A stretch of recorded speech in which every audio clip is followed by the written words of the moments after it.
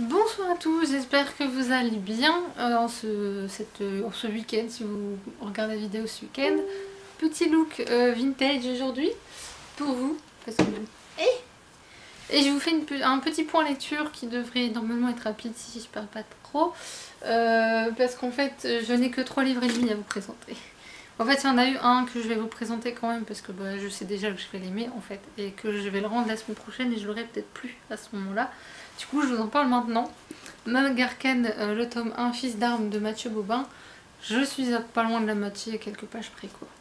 Et euh, ça se passe très très bien comme lecture. On suit euh, Nord qui euh, vit dans une ville suite à l'attaque des orques. J'espère que ça dit comme ça. Et en fait, quand il va vivre dans cette nouvelle ville, au bout d'un moment, il y a un chevalier qui va venir le chercher qui va lui dire deviens mon fils d'armes et euh, tu iras euh, apprendre euh, la chevalerie dans une école, la meilleure école. Ce qu'il va accepter bien évidemment, sinon c'est pas drôle. Je vous résume vraiment le début. Hein. Et on suit ses aventures à partir de là. Alors, c'est la bonne fantaisie et la fantaisie optimiste. Oui, optimiste. Je sais, ça paraît incompatible parce que moi toutes les fantaisies que j'ai lues sont très sombres, très quelquefois lourdes un petit peu. Et euh, on prend une semaine à peu près pour le lire. Là, euh, j'ai lu quand même tout ça en deux fois. C'est quand même pas rien. Et en fait, les personnages centraux euh, sont tous des gens optimistes, qui cherchent pas le pouvoir, qui cherchent pas l'argent, qui cherchent juste à faire le bien autour d'eux. C'est le seul point de vue, point sur lequel on ressent que c'est un prêtre qui l'a écrit. C'est le seul point. Tout le reste, c'est vraiment de la fantaisie. On a juste les ennemis, donc les, orques, qu'on voit pas trop apparaître à part au début. Le début peut paraître, euh, voilà, un petit peu... Disons, les 20 premières pages sont un peu, voilà, c'est le temps d'installer l'histoire, quoi.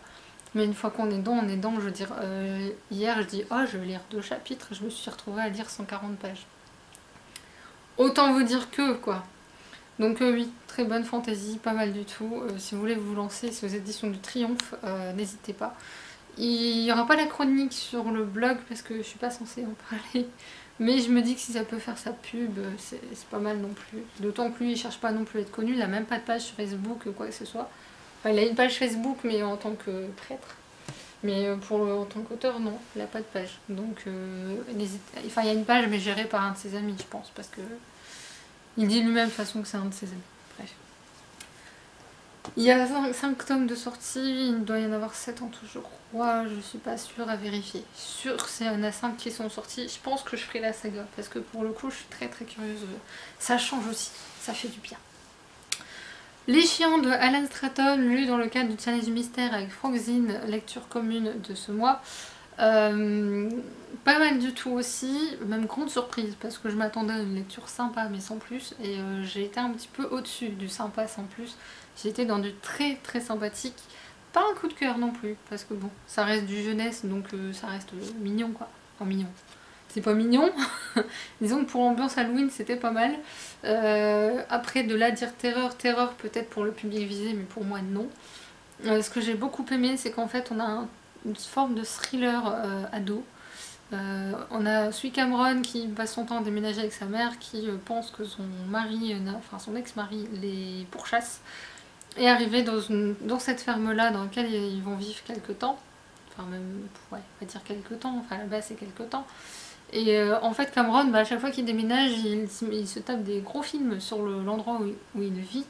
Et sauf que bah, de là se taper un film et à ce que ça devienne réalité, il n'y a qu'un pas et il a beaucoup beaucoup d'imagination. Mais heureusement parce qu'il va, disons qu'il va, il va essayer, il va, il va enquêter sur l'histoire de la ferme et de là il va aller dans des choses qu'il ne devrait pas, dans des secrets de la ville, surtout de la ferme. Et euh, bref, j'en dis pas plus sinon je vous spoil le reste.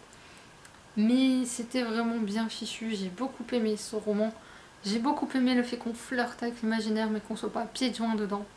Ça j'aime bien. J'aime bien le mélange des genres, j'ai toujours aimé ça. C'est pour ça que j'aime bien le thriller fantastique, on peut dire ça en est, même si la part de fantastique est très légère. On, s'amuse à jouer avec la folie en fait. Est-ce qu'il est devenu fou ou est-ce que c'est la réalité? Grande question. Bref, j'ai beaucoup aimé. Euh, je pense que j'en ai un autre à lire de l'auteur dans ma palle. Euh, je pense que je le lirai là avec, avec moins d'hésitation. Que c'est pareil, j'hésitais beaucoup à lire ce livre, je m'étais dit, ouais, enfin, ça a l'air un petit peu... Mais maintenant, voilà. Alors dedans, on parle euh, de violence conjugale, même domestique, on peut dire, de manipulation, de famille recomposée, de comment s'intégrer dans une nouvelle école, euh, de harcèlement scolaire. Euh, on parle de beaucoup de choses, mine de ça paraît pas, mais c'était vraiment sympathique. Ensuite, les Chroniques des Fleurs d'Opale, La Condor de la Rose, tome 1, partie 1. Oui, la partie 1, parce que la partie 2, elle est là. qui sera pas lu tout de suite, hein, vous le dire tout maintenant. Euh, du coup, oui, je vais en profiter en parlant de ce livre pour vous expliquer pourquoi il n'y a que 3 livres et demi. Euh, j'ai une grosse panne de lecture suite à des gros soucis perso et euh, s'il y a une baisse de morale un petit peu les deux en même temps en fait. Une baisse de morale à la base suivie par des problèmes familiaux qui m'ont un peu terrassé. J'en ressors tout doucement mais sûrement, rassurez-vous. La preuve, j'ai lu la moitié d'un bouquin, donc c'est que tout va bien dans ces cas. Euh, pour parler de ça, donc on suit euh, Diftil, une jeune fille qui, euh, suite à la guerre, une guerre entre Nelsiad et humains, va se retrouver chez les humains. Et là, ils vont dire ah, c'est la cinquième déesse, et ils vont lui dire tu restes là, elle va être enfermée dans un monastère pendant. Ils vont lui faire croire qu'elle est libre, et en fait, ils vont lui laver le cerveau. Et euh, au bout d'un certain nombre d'années, je ne sais plus combien exactement, quelqu'un va venir lâcher... Oh, je peux le dire parce que c'est marqué derrière. Euh, elle est libérée par son frère Ned euh, qui va lui expliquer bah, qu'il faut qu'elle fuit parce qu'en fait le moine de ce monastère n'est pas si bon que ça. donc elle va fuir avec lui entre autres. Et on va... En fait les gens n'ont pas forcément adhéré à ce livre. Déjà d'une part pour le style d'écriture qui est effectivement très particulier. Et ensuite, parce que dit-il, justement parce qu'elle était enfermée euh, dans, un monastère pendant un certain nombre d'années, et qu'en plus on lui avait lavé le cerveau, et forcément un tout petit peu beaucoup naïve. Voilà. Elle sait pas faire grand chose, elle a forcément besoin des autres, même si elle va apprendre au fur et à mesure du temps euh, certaines choses. De ce point de vue-là, je comprends les gens et en même temps je me dis, ils n'ont pas poussé plus loin que ce qu'ils ont lu. Ils n'ont pas forcément compris la dualité de Diftil. Voilà. Je dis bien dualité parce que justement elle est cinquième déesse, faut pas l'oublier, et qu'elle a son, quand même des, une vision des choses, par moments elle a des sursauts quand même de réflexion qui sont très intéressants. Après, oui, effectivement, l'autrice a mis en avant le fait qu'elle sache même pas monter à cheval, qu'elle sache pas se défendre, euh, qu'elle soit, même au niveau des relations de elle est extrêmement pudique et en même temps euh, naïve un petit peu aussi. Mais pas tant que ça, elle est méfiante quand même. Elle a un côté méfiant euh, qui pointe le bout de son nez de temps à autre. Euh, même elle, je trouve que. Enfin, elle réagit très bien. Je veux dire, quand on lui dit 5ème DS, elle dit euh, non, tu rigoles. Enfin, je, trouve ses réactions logiques quand même par rapport à justement ce qu'elle a vécu. ouais, je trouve ça pas mal. Alors, on aborde beaucoup de sujets dedans. On aborde bah, la guerre, le racisme, on aborde la condition de la femme quand même pas mal parce que Dishti justement est une femme, faut pas l'oublier et que vu ce que les gens veulent faire d'elle, heureusement que son frère est là. Euh, même d'ailleurs il y a une autre femme qui apparaît dans ce roman qui est pas du tout comme Diftil mais à l'opposé de Diftil et justement on a deux conceptions de la femme différentes. Ça j'ai trouvé ça pas mal.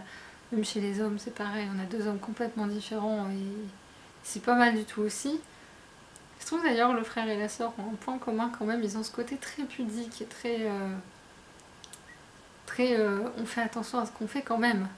Ça j'ai pas mal aimé euh, ce point commun entre eux, même s'ils ils paraissent très différents. Dans le fond ils, ont, ils sont pas frères et sœurs pour rien quand même. Et les autres personnages autour cachent tous quelque chose et je trouve ça aussi très intéressant. Alors après oui, l'autrice a fait un choix d'écriture assez atypique dans le sens ou habituellement ce genre de livre, quand on commence par le personnage principal qui dit je vais te raconter mon histoire, d'habitude on le compte quand même au présent. Là non, elle a fait le choix de faire comme si euh, racontait à sa fille réellement son histoire.